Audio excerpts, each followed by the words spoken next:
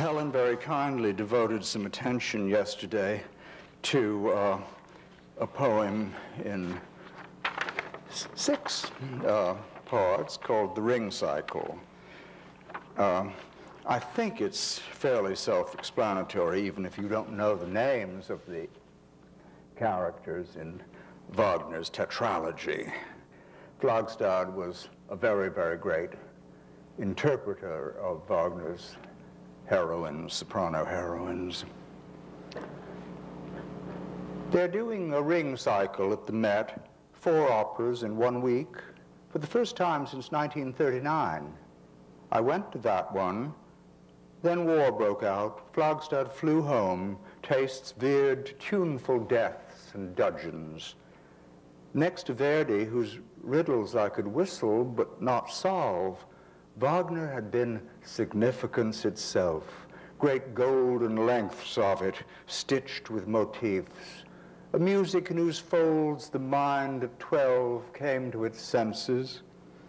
Twin sword, forest bird, envy, redemption through love.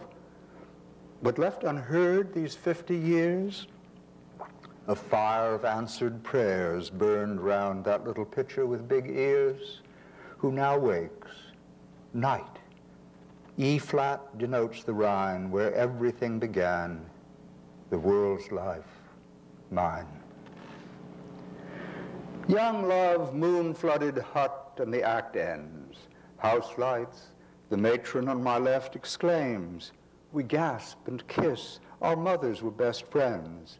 Now, old as mothers, here we sit, too weird. That man across the aisle with lamb's wool beard was once my classmate, or a year behind me. Alone in black in front of him, Maxine. It's like the our town cemetery scene. we have long evenings to absorb together before the world ends. Once familiar faces transfigured by high-tech rainbow and mist, fireball and thunder's head make-believe weather calling no less for prudence at our stage when recognition strikes. Who can afford the strain it places on the old switchboard? Fricka looks pleased with her new hairdresser. Brunhilde Behrens has abandoned hers. Russet-maned, eager for battle, she butts her father like a playful pony. They've all grown, these powers, so young, so human, so exploitable. The very industries whose major funding underwrote the production continue to plunder the planet's wealth. Erda, her cobwebs beaded with years of seeping waste, subsides unheeded. Right, Mr. President? Right, Texaco? Into a gas blue cleft. Singers retire, yes, but take pupils, not these powers. No, no. What corporation Wotan trained by them returns gold to the disaffected river or pre-atomic sanctity to fire. Brunhilde confronts Siegfried. That is to say, two singers have been patiently rehearsed so that their tones and attitudes convey outrage and injured innocence. But first, Two youngsters became singers, strove to master every nuance of innocence or outrage, even in the bosom of their stolid middle-class families who made it possible to study voice and languages, take lessons in how the woman loves, the hero dies. Tonight again, each note a blade reforged, the dire oath ready, in their blood is sworn, two world-class egos painted, overweight, who'll joke at supper side by side, now hate so plausibly that one old stagehand cries.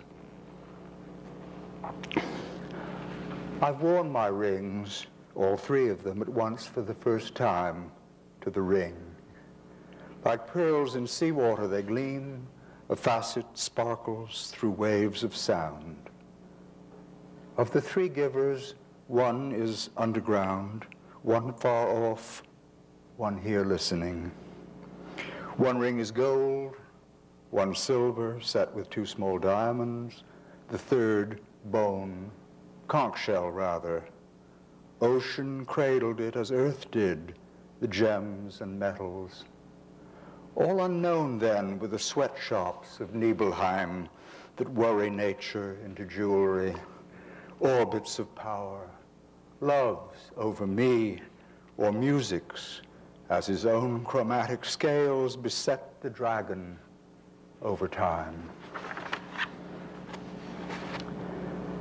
Back when the old house was being leveled and this one built, I made a contribution.